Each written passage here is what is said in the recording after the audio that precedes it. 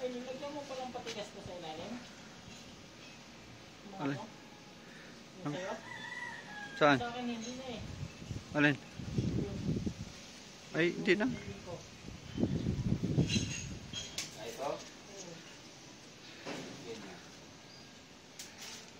Saan yung babaluktot na?